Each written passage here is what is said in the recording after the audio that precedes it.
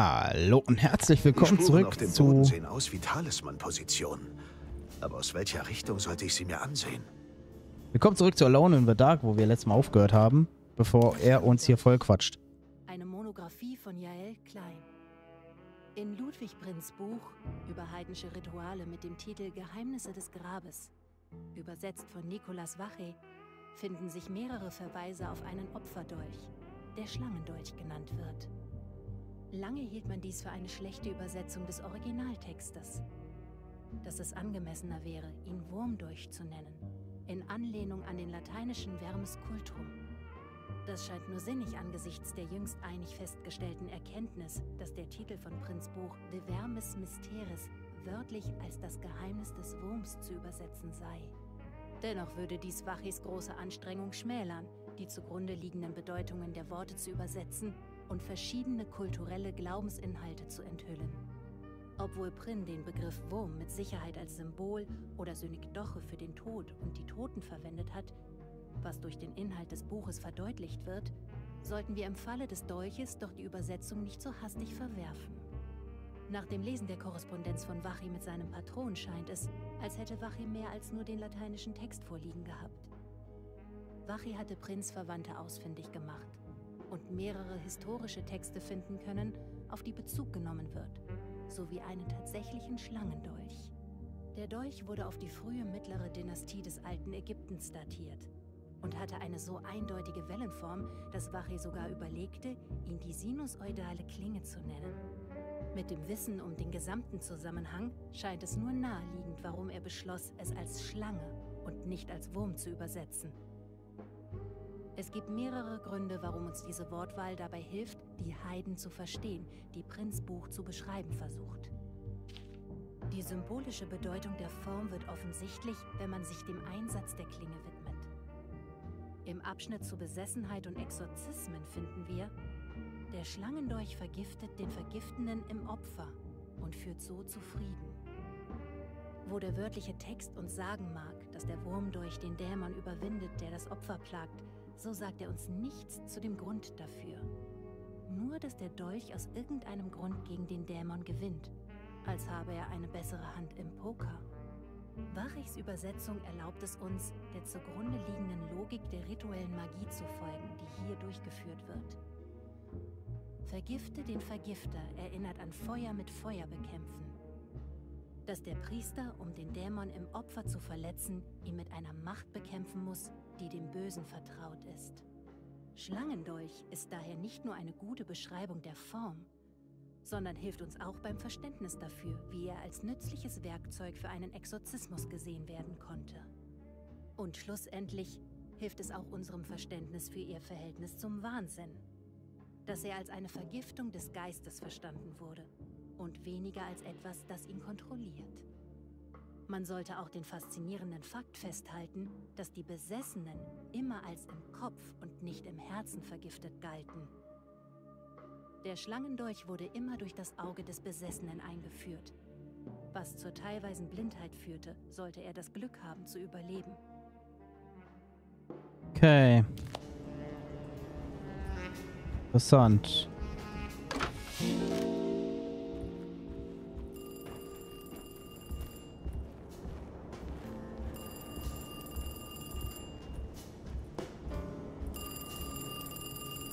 Jetzt Telefon auf einmal.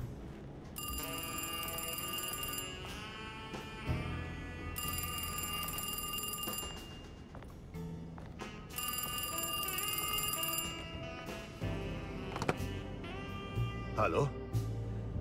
Detective Wer ist da? Carnby. Jeremy? Jeremy ist beim Schattenmann. Sie können ihn Tja, nicht ich habe bislang alles getan, was er wollte. Und es gibt nur noch eine Sache auf der Liste. Ich erwarte, dass er sein Versprechen hält und Jeremy unversehrt zurückgibt. Mehr Zeit haben wir nicht, Detective. Wir sehen uns bald. Okay.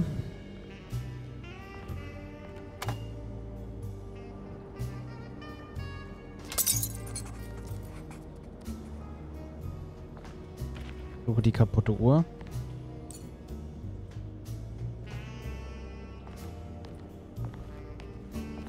Ja, toll.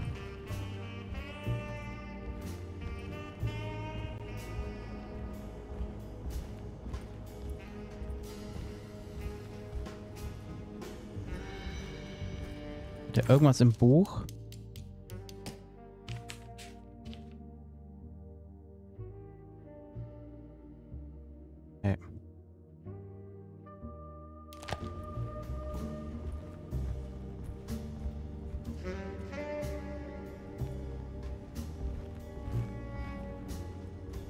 Wissen? Oh, meine Fresse.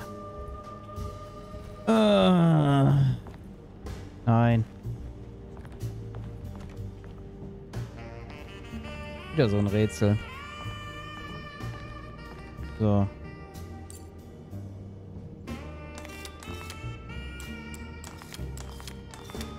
Aber ich habe ja keine Nummer, nix jetzt dafür.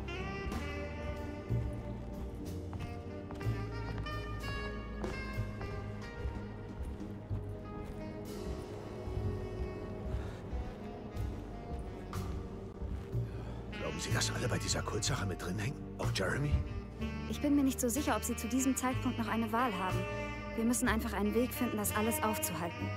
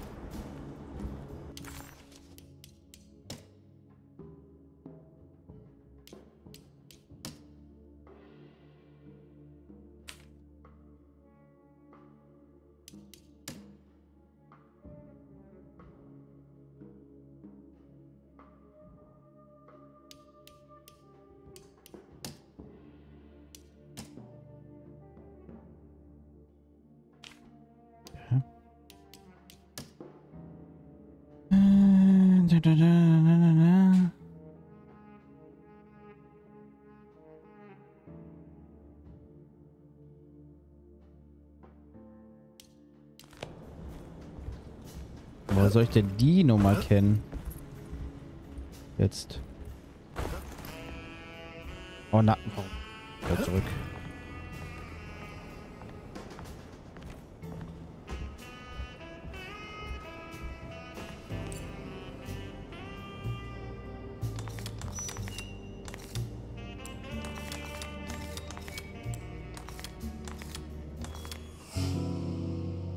Dachte es mir jetzt vielleicht, weil ich keine Nummern habe. Weil ich halt wirklich nichts hatte. Dass ich auf 00 halt gehe. Geht es Ihnen gut? Sie sehen verstört aus. Nur dieses dämliche Telefon. Ich weiß, ich habe vorhin versucht, die Polizei anzurufen. Die Leitung ist vollkommen tot. Es ist nicht... Ja, nein, das Telefon ist kaputt.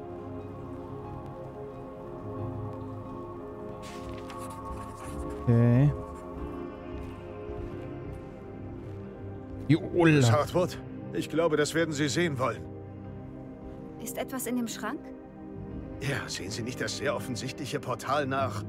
nach was auch immer Jeremys Wahnsinn als nächstes heraufbeschwört? Ich verstehe nicht. Soll das eine Modemetapher sein? Tut mir leid, ich habe da keine Zeit für. Können Sie mir nicht einfach sagen, was Sie machen? Sie sehen das nicht? Na gut. Alles gut. Wir sehen uns später. Gehen Sie in den Schrank? Ja. Haben Sie da ein Problem mit? Nein, tun Sie nur, was Sie für richtig halten, Detective. Tut mir leid, ich wollte nicht. Adieu, Miss Hartwood.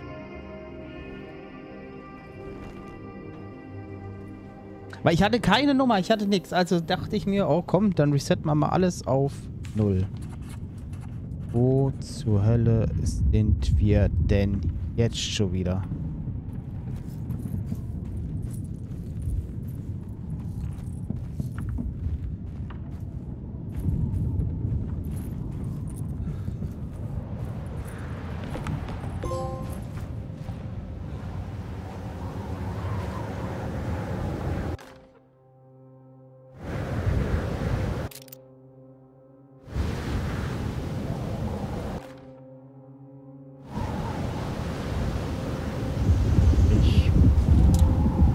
Weiß ja nicht.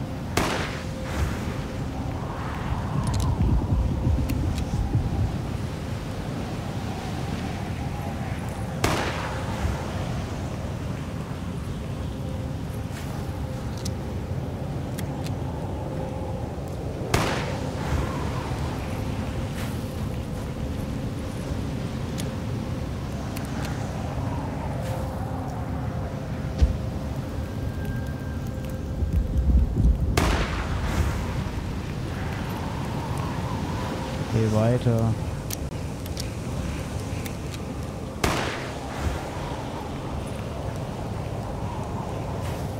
Wieder ein Quick-Ding vorne.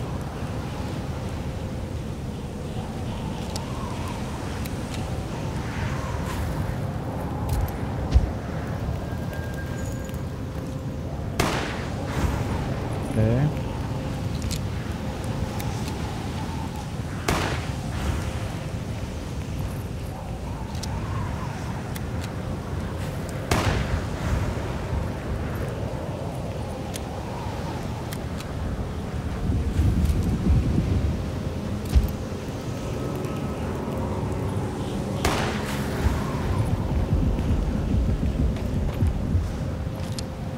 Ah ne, hier hoch, hä?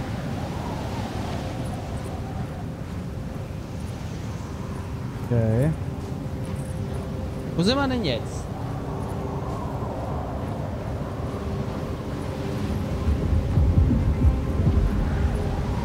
Sieht mal alles so aus wie böse Cthulhu-Kram hier. Alles grün und alles böse, dunkel, finster.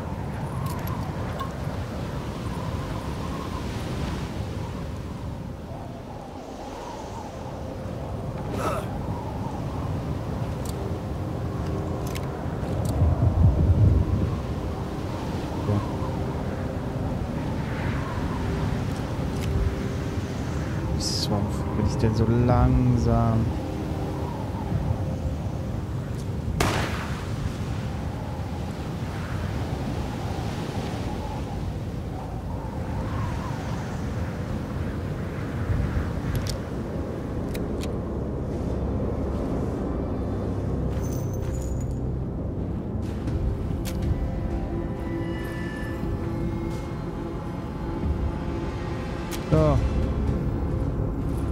Wer bist du? Hey, Sie! Was machen Sie hier? Was ist das für ein Ort? Kehren Sie um, Detective.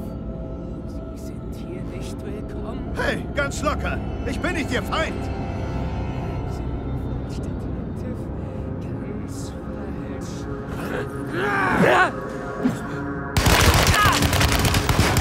Oh.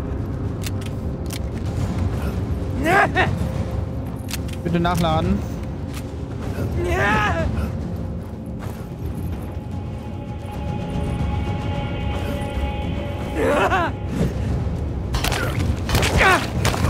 Kann ich auch. Ah. Gut. Jacob.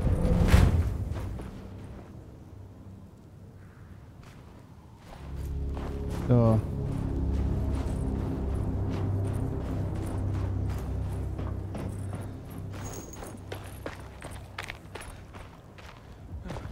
Jacob hier auf die Fresse gekriegt, hä?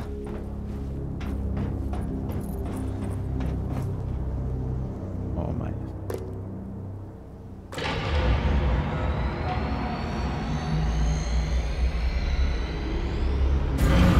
Äh, Natürlich der Stier. Ich habe mir schon gedacht, dass du nicht wolltest, dass ihre Sterne richtig stehen, Jeremy. Oder vielleicht ist es auch genau das, was nötig ist, um ihre Manie in den Griff zu kriegen.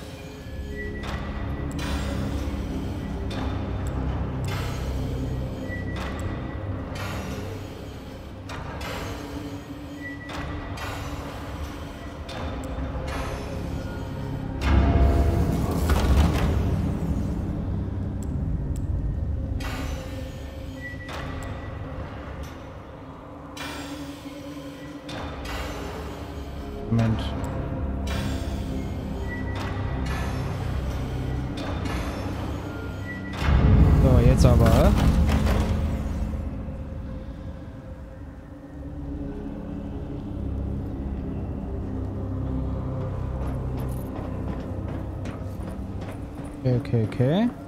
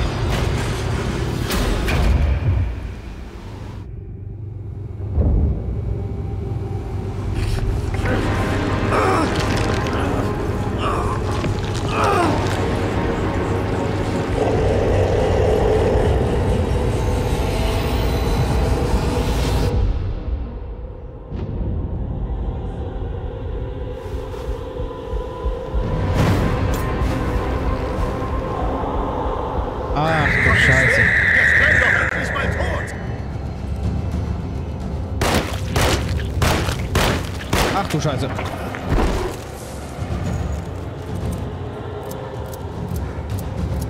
Ach du Scheiße.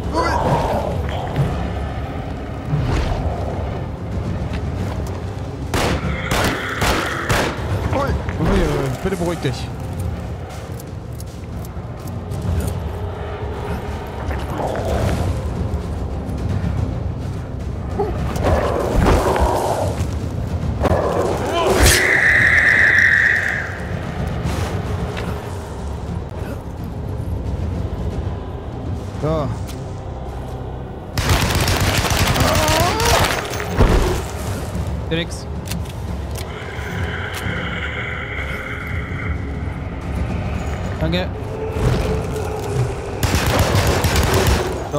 Hier rein.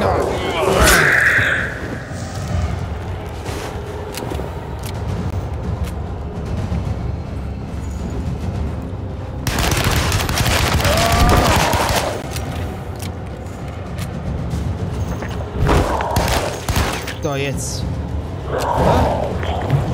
Sterb doch!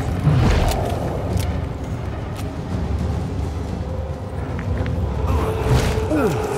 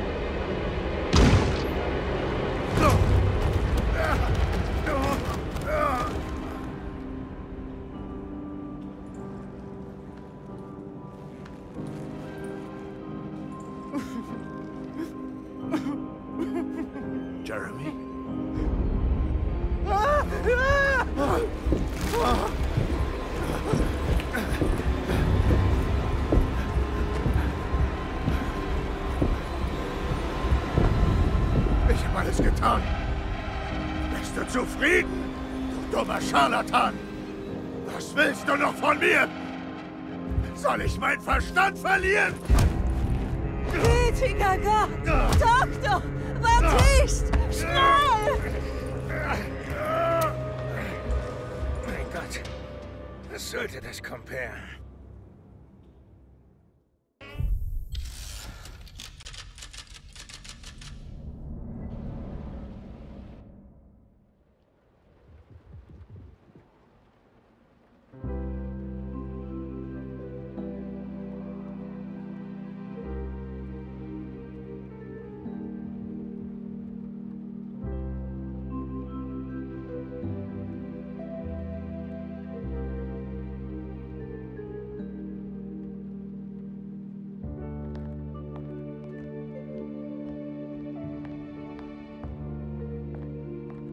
Sind Sie wach?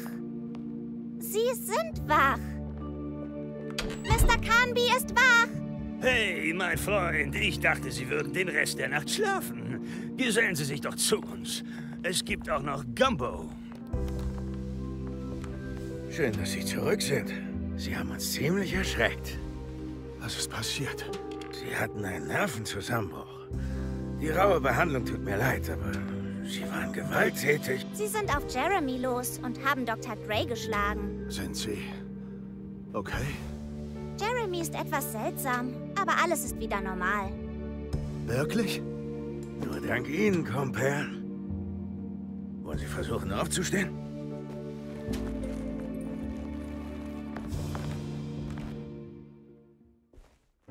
Na, wenn das nicht der Held des Tages ist. Wie geht es Ihnen, Detective? Ganz prächtig. Und Ihnen beiden? Hey, Jeremy, ich habe Ihnen nicht zu arg wehgetan, oder? Alles ist gut. Alles ruhig. Was ist mit ihm? Schmerzmittel? Nein.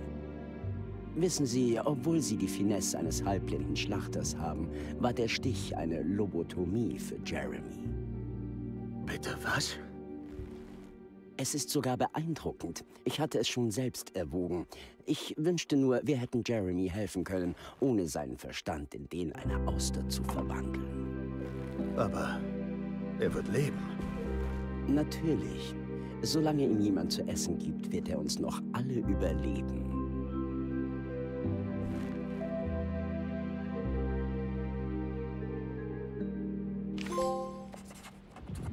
Äh, Weiß Emily über Jeremys Zustand Bescheid? Ja, sie scheint recht gut damit umzugehen, den Umständen entsprechend. scheiße, was habe ich getan?